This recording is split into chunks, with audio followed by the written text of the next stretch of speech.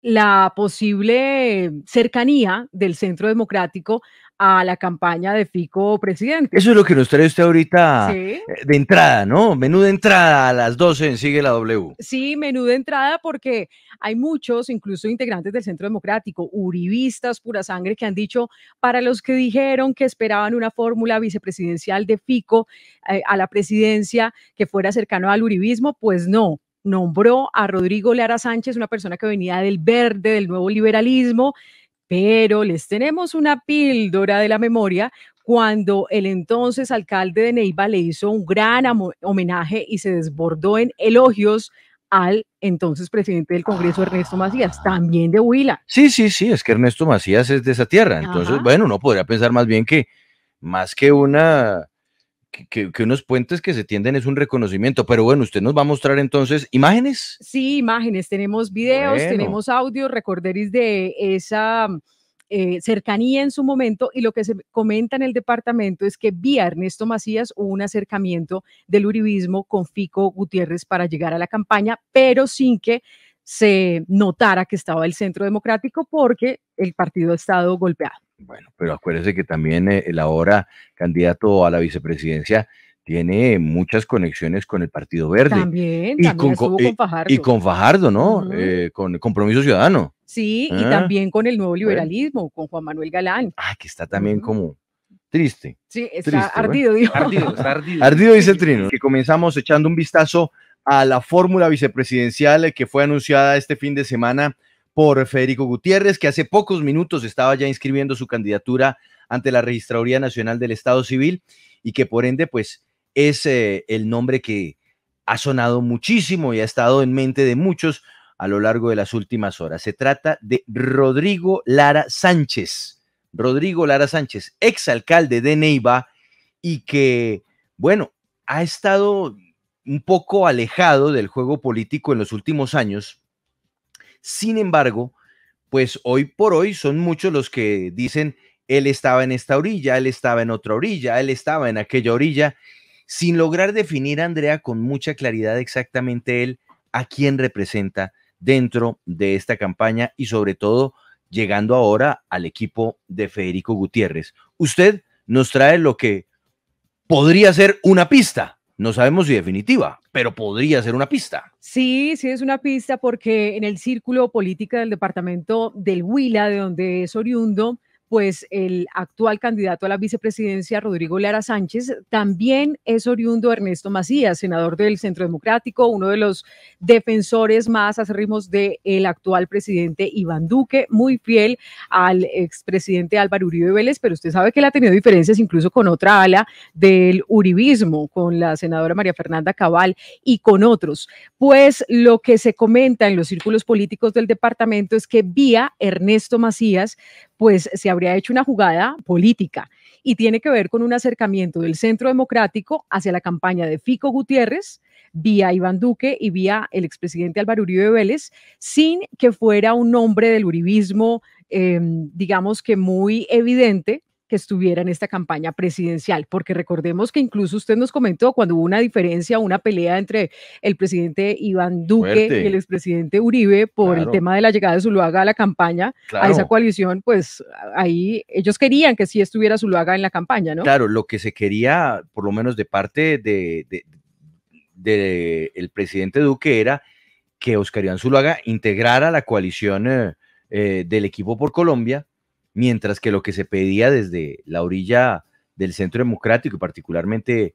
el mismo Álvaro Uribe era que se acompañara a Oscar Iván Zuluaga en su aspiración. Finalmente, pues Oscar Iván Zuluaga terminó declinando al día siguiente de que se hubiera dado la votación en la consulta que dio como ganador a Federico Gutiérrez. Así que digamos que ahí se, desmontó muy rápido ese andamiaje y quedó eh, todo en manos de una decisión abierta del Centro Democrático, ¿no? Porque recuerde usted la reunión que se dio a continuación y el llamado para que fueran las bases del Centro Democrático quienes determinaran cuál era el camino a seguir, ¿no? Exactamente. Entonces, en este momento, pues vamos a retroceder el cassette y por eso los invitamos a que se conecten ya.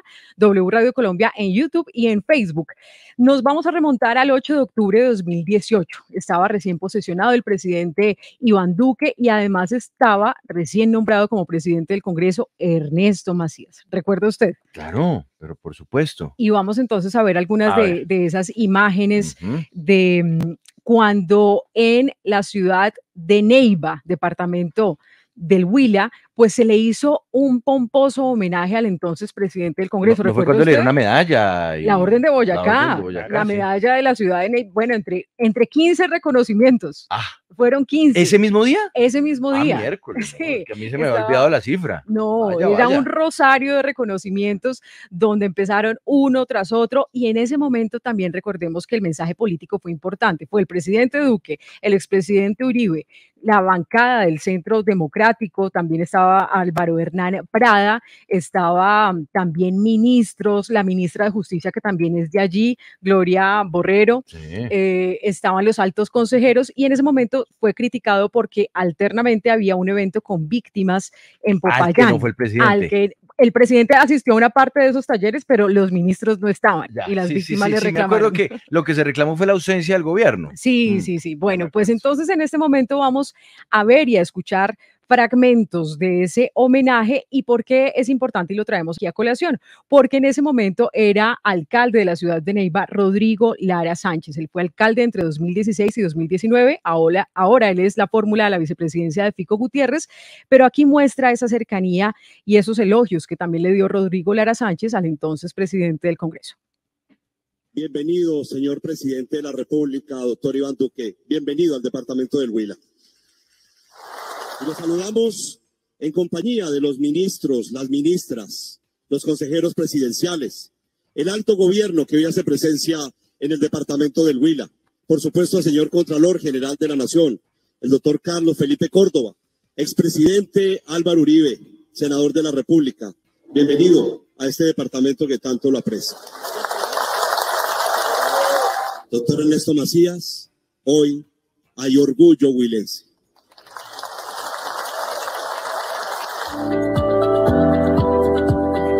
En esa época de los comienzos, cuando estábamos muy jóvenes, empezamos a hacer el periódico como se hacía antiguamente.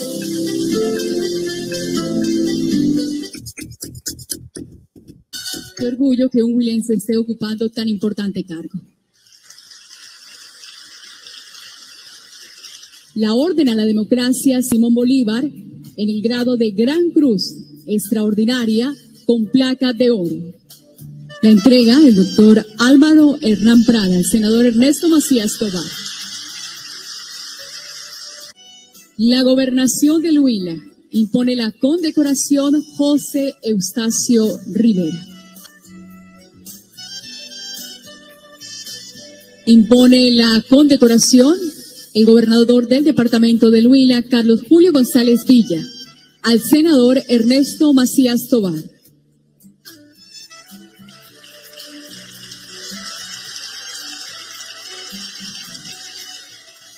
La alcaldía de Neiva impone el escudo Ciudad de Neiva.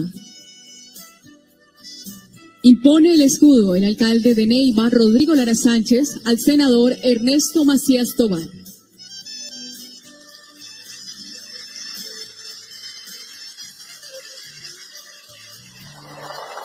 Pues ahí, ahí está. Ahí está ese acercamiento en ese momento del alcalde. Sí, y, y, lo, que, lo que algunos podrían decir es que pues eh, quienes le otorgaban en ese momento tantos reconocimientos y tales reconocimientos a Ernesto Macías, pues eh, en realidad lo hacían eh, por afinidad política, lo hacían por cercanía con, con su forma o sus, sus ideas y sus planteamientos en el Congreso de la República. En fin, Andrea, digamos que ese era esencialmente lo que se señalaba sobre tal serie de reconocimientos que aquí estamos viendo cómo va uno tras otro, tras otro, tras otro, de los que le van eh, entregando o los que le entregaron en su momento a finales del año 2018 al entonces senador Macías. Claro, aquí hay que hacer claridad en algo. Rodrigo Lara Sánchez, pues nadie está diciendo algo contra su honorabilidad, sus investigaciones, eso no tiene nada que ver, pero el hecho político sí es bien importante, porque dicen, bueno, pero si él era de Fajardo,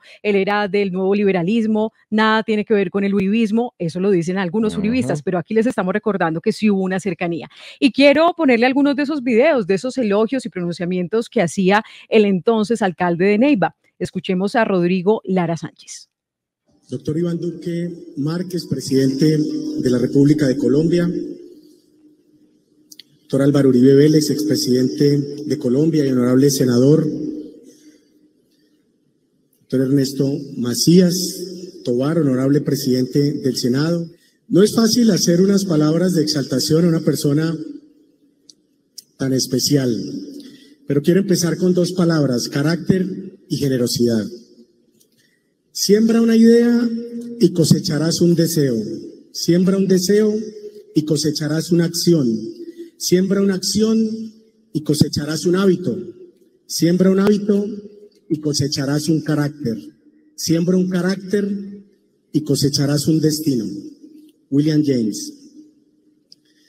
Querido auditorio, esta noche nuestra amada Neiva, la capital del río Magdalena, nos congrega con la grata presencia del señor presidente de la República, Iván, Duque Márquez, una especial obligación, ser el vocero de una ciudad en el reconocimiento que hoy le hacemos a uno de los más destacados hombres del departamento del Huila, que ocupa la más alta dignidad en el poder legislativo de la nación, Ernesto Macías Tobar, un hombre de este pueblo pita, hecho a pulso, con el esfuerzo y tesón que caracterizan a los grandes. La característica de los grandes elogiaba entonces eh, el ahora candidato a la vicepresidencia de Fico Gutiérrez, Juan Pablo. Recordemos que esto fue 8 de octubre de 2018. Le tengo más, le tengo más elogios que hacía el entonces alcalde de Neiva. Dos temas han sido claves en la vida de Ernesto Macías. Su pasión por el servicio de lo público no solo como concejal de Garzón, cuyo cabildo presidió, joven alcalde de Altamira, diputado secretario de gobierno departamental durante la administración del doctor Félix Trujillo, como él mismo me lo comentó, y muchas veces gobernador encargado del departamento del Huila, donde definió su carácter demócrata, conciliador, pero a la vez recio, a la hora de combatir las malas prácticas buscando consenso en vez de la mercantilización de la política que tanto envilece. Si me permite, Andrea, yo sé que usted tiene más audios y tiene además invitado a esta hora para comentar este, este, este, tema que usted nos trae, este recorderis. Pues escuchemos más fragmentos de ese reconocimiento que le hacía el entonces de Neiva, Rodrigo Lara Sánchez, al entonces presidente del Congreso del, del Partido Centro Democrático, Ernesto Macías Tobar. Sin duda sus metas claras le permitieron tomar mejores decisiones. Su otra faceta, como periodista, lo mostró como líder y defensor de la verdad, fundador de medios juveniles e importante director del diario del Huila y noticieros radiales de mucho impacto en la opinión.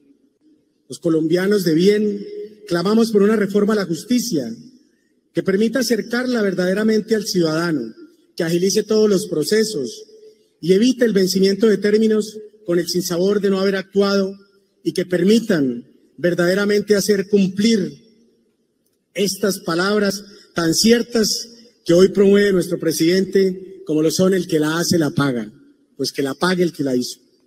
Fortalecer la justicia para que el ciudadano del común logre tener confianza en sus jueces, para que se mantenga al margen de cualquier injerencia política. Bueno, aquí empieza a hablar más de esos eh, propósitos que tendría el presidente del Congreso y aquí da un poco más de detalles específicos sobre Ernesto Macías. También en sus manos está adelantar una reforma política que le devuelva la credibilidad a este ejercicio tan virtuoso, el servir y no servirse. Es la esencia que debe caracterizar el actuar de un buen político en Colombia, merece tener mejores destinos y es la manera de hacer política la que marca la diferencia, tal como la ha hecho usted, doctor Ernesto Macías. Estamos hablando del 8 de octubre de 2018 en este homenaje a Ernesto Macías, presidente del Congreso, y con todo el gobierno del presidente Iván Duque. Doctor Ernesto Macías, tengo solo palabras de agradecimiento ante su actuar generoso. En mi gestión durante estos meses y durante gestión, su gestión como congresista, he tenido el privilegio de ser atendido nada más y nada menos que por el presidente del Senado, pero más allá de las dignidades, por un ser humano amable, inteligente, con un gran carácter que antepone el servicio y la cordialidad por encima de las vicisitudes. Hoy le otorgamos la medalla Escudo Ciudad de Neiva, nuestra máxima distinción como reconocimiento a su carrera política y como un gran compromiso con los neivanos que hoy esperan un gobierno que los escuche, que los represente y en el que podamos construir el país que todos soñamos. Gracias por estar en el Huila, por estar en Neiva, señor presidente Iván Duque, y pasar la noche en nuestra tierra. Esa, esa es la voz del ahora fórmula vicepresidencial de Federico Gutiérrez, en el momento en el que le hacían un reconocimiento, un homenaje y le entregaban una medalla a el entonces presidente del Senado, Ernesto Macías. Andrea, pues yo creo que saludemos a su invitado, ¿le parece? Sí, me parece bien. Hasta ahora nos acompaña el expresidente del Congreso, del Senado y actual senador del Centro Democrático, Ernesto Macías. Gracias por estar con nosotros aquí en Sigue la W. Andrea, a ustedes muchas gracias por esta invitación y a los oyentes, desde luego, un saludo muy especial. Senador Ernesto Macías, ¿cuál es su cercanía con Rodrigo Lara Sánchez? La verdad es que mi cercanía con Rodrigo Lara Sánchez es la misma de, diría yo, de la mayoría de los huilenses. Él se ganó el cariño de los huilenses eh, cuando hay que decirlo. Él llega a la alcaldía de Neiva, aspira a la alcaldía de Neiva, inclusive muy criticado por el gremio médico, porque ellos decían que el sector de la salud en el Huila iba a perder a un gran médico cuando decidió aspirar a la alcaldía y aspiró y ganó la alcaldía, pero allí, a partir de, haber ganado la alcaldía, comenzó a ganarse el cariño de los huilenses, no solamente de los neivanos, por su forma de ser. Rodrigo Lara Sánchez es un hombre decente eh, y durante la administración como alcalde demostró que es un hombre además transparente. Y entonces no hay un sector político en el Huila y en Neiva que diga que tuvo una regular o mala relación con el alcalde Rodrigo Lara Sánchez. Él fue garante o fue mejor, eh, le ofreció garantías a todos los sectores políticos del Huila y por eso todos nos acercamos y lo apoyamos en su administración. De tal manera que eh, esa es la cercanía, diría yo que es la misma cercanía que hoy todos los huilenses tienen y mucho cariño sobre una persona como Rodrigo Lara Sánchez. Bien. Él, mismo, con su forma de ser, su forma de actuar, se ganó el cariño y la cercanía de los huilenses. Eh, eh, senador Macías, en, eh, en, el momento, en, bueno, en esta legislatura, finalmente, ¿usted es el único huilense o hay otros personas, congresistas originarios del departamento? Hoy, digamos, actualmente somos cuatro senadores del Huila. Sí. Está la senadora Esperanza Andrade, está el senador Rodrigo Villalba, está el senador Rodrigo Lara Restrepo, quien es de Neiva, y, estoy yo, de manera hoy, que ninguno vamos a repetir, sí, ¿cierto? Esperamos a que, a que la doctora Esperanza en, ya en, la, en los estrados judiciales recupere la, la credencial que perdió en estas elecciones. Bien, y ¿cuál era el que mejor le patinaba o le ayudaba a mover cosas en Bogotá al, eh, alcalde Rodrigo Lara? Porque usted sabe cómo son las cosas de la política, entonces cuando uno está en las regiones necesita que le ayuden, que le consigan reuniones y muchas veces ustedes los congresistas, como representantes que son finalmente las regiones, pues se convierten en unos unos coadyuvantes para generar esas dinámicas políticas que se necesitan para una reunión, para facilitar presupuesto. ¿Usted, por ejemplo, le ayudaba a Rodrigo Lara Sánchez? Pues es que además es una de las funciones, diría yo, de las funciones principales del congresista. El congresista no hace obras, gestiona, ayuda. Y yo creo que todos le ayudamos al alcalde Rodrigo Lara Sánchez y a, la, a Neiva. Y obviamente en mi caso particular yo he aprovechado, y debo decirlo, mi cercanía con el presidente Duque y con el gobierno para gestionarle al departamento muchas cosas, independientemente del origen político del, del alcalde respectivo, como en este caso. En este caso, el doctor Rodrigo Lara Sánchez, eh, no, desde luego se sabe y lo saben, él llegó por avalado por el Partido Verde, claro. pero hizo una alcaldía políticamente con todos los sectores políticos. Él no tuvo conflicto político porque fue muy amable con todos y garantista con todos. Sí, senador Ernesto Macías, vía usted llegó Rodrigo Lara Sánchez a la campaña de Fico presidente? No, de ninguna manera. El doctor Rodrigo Lara Sánchez hizo una gran amistad con Fico Gutiérrez. Recordemos que ellos fueron alcaldes simultáneamente, eh, Fico en Medellín y, Rodrigo en Neiva. Y fueron muchas las reuniones, además ellos pertenecían a, a Socapitales y desde allí eh, trabajaron juntos, de manera que hay una gran amistad entre ellos dos y yo creo que lo que inclinó a Fico Gutiérrez para invitar al doctor Rodrigo Lara Sánchez para que sea su fórmula fue precisamente el conocimiento que él tiene, no solamente de la persona de Rodrigo Lara Sánchez, sino de las ejecutorias, de la forma de ser, de lo decente que es eh, Rodrigo Lara, lo transparente, eh, la transparencia con que ejerció la alcaldía de Neiva y un punto el que he venido resaltando, fundamental, y es que Rodrigo Lara es amigo de todos los sectores políticos. No tuvo o no tiene eh, diferencias con ninguno y esa es una gran ventaja. De manera que ahí no tuvimos nada que ver. Celebramos, sí, desde luego su escogencia y yo creo que hoy estamos los huilenses, como se dice popularmente, vanidosos, porque vamos a tener vicepresidente eh, de, de nuestro origen, de nuestra tierra. Óigame, senador, pero en medio de esta realidad política, y, es de hecho el tema que tenemos a continuación, en donde, en donde la tensión lleva pues a unos escenarios de intolerancia realmente escabrosos y angustiantes, hablar de que un político tiene el respaldo de todos los sectores políticos, como es el caso de Rodrigo Lara Sánchez, ¿Es algo bueno o malo? Porque me recuerda a mí un presidente de otro gobierno que dijo, no, repartir bien la tostada, la mermelada sobre la tostada. Entonces, tener felices a todos los políticos, ¿es porque se le da gusto a todos los políticos? Hombre, yo creo lo contrario. Mire, eh, en primer lugar, Rodrigo Lara Sánchez no es un político tradicional. Es un profesional de la medicina que se hizo a pulso. Ya el país eh, está conociendo la historia de él que se hizo a pulso y, desde luego es, es hijo de uno de los hombres más inteligentes de, mi departamento, como lo fue el doctor Rodrigo Lara Bonilla.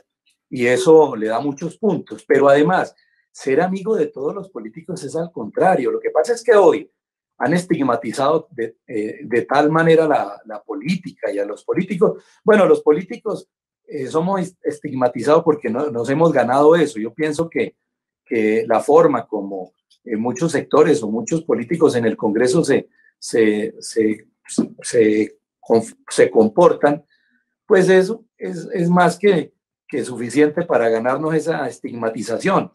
Pero yo diría lo contrario, una persona, en este caso, como Rodrigo Lara Sánchez, que le cae bien a todos los políticos, y no solamente a los políticos, a sectores sociales, porque ustedes van a Neiva y preguntan, en sectores sociales, sectores cívicos, sectores gremiales, por el, por el exalcalde Rodrigo Lara Sánchez y lo único que le dan es buen, son buenas referencias, buena imagen tiene, de manera que eso para mí es positivo.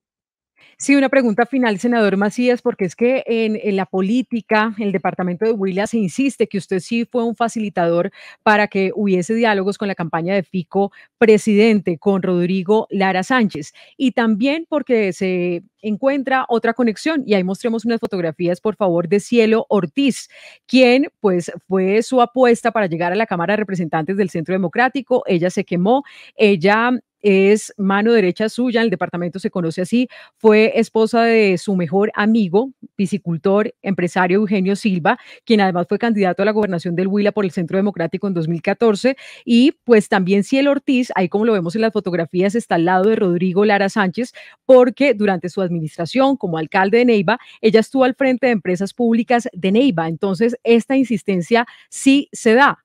¿No ven ustedes entonces o no reconoce usted que hubo ningún acercamiento? A ver, Andrea, primero está muy bien informada de todos esos detalles que tienen que ver con las personas del Huila y personas que eh, en mi caso aprecio. Pero desde luego, yo hubiera querido, yo hubiera querido eh, tener algo que ver con la escogencia de Rodrigo Lara Sánchez, pero no lo fue. Es más, si me hubiera preguntado Fico que no lo, no lo iba a hacer, pero si me hubiera preguntado, yo le hubiera celebrado eh, haber pensado en él.